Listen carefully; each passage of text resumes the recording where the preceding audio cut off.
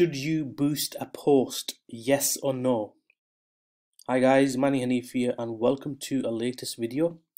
And in this in this video, I'm going to basically bust the myth of the fact that if anyone boosts a post, they literally get shot and they, they literally get shot down by the boost post feature is available to all Facebook admins here you can see this is one of my um, potential clients that approached me and I was just looking at his ad campaigns and he made a ton of sales from a boost post.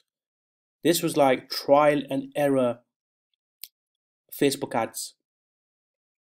So the boost post feature namely works is you you basically um, make a post on Facebook, okay, and then you boost it. So let me just give you an example. So this one here, this post here, it reached over 3,000 people. It had over 340 engagements, according to this.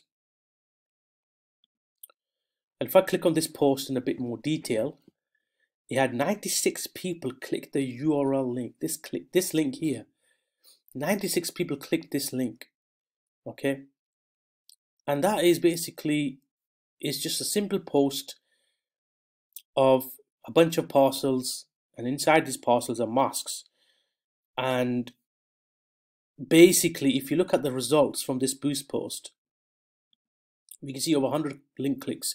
Just 20 pounds 20 20 dollars spent over the course of 10 days um on literally you know a starting budget of a couple of dollars a day you know. And you can see here clearly that this is a broad audience using using no interests. And look at the stats on here, guys. You know, so the purpose of this video is to just let you know, guys, that if you're going to be boosting a post, do it on the understanding that the post will give you traction. It will basically create some engagement but you can't rely on boost posts to grow your business. Boost posts are good. They can give you that traction and engagement, but in the long term, you want to do it properly. Now, this ad was rejected because obviously he's promoting something which obviously has the logo for Sky News. He's got the text in here, which is which I don't condone. He's got text in here. Facebook restricts the reach if you've got text Let's have a look at the details. I mean, uh, so far before the ad was rejected. Cost per engagement 0.03 cents. If I scroll up to this one, there's not really indication as to how that performed. But you can see this was the this was the normal PPE ad. And this was boosted. So basically, this couldn't run because of controversial content in regards to the COVID. So you can't really. But just look at the comments, guys. Engagement on Facebook, 32 link. This was all result of this promotion, this paid promotion. So does that mean you should be boosting posts? My conclusion is, and this is this is this is my own opinion.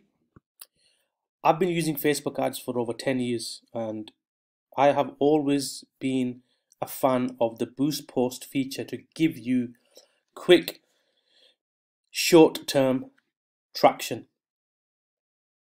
And I'm just going to basically break it down to you. So this is your ad copy. Okay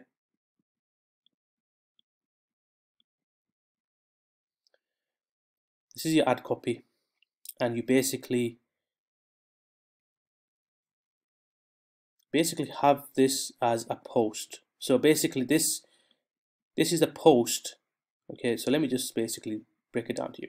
This is a post on Facebook okay? On your page.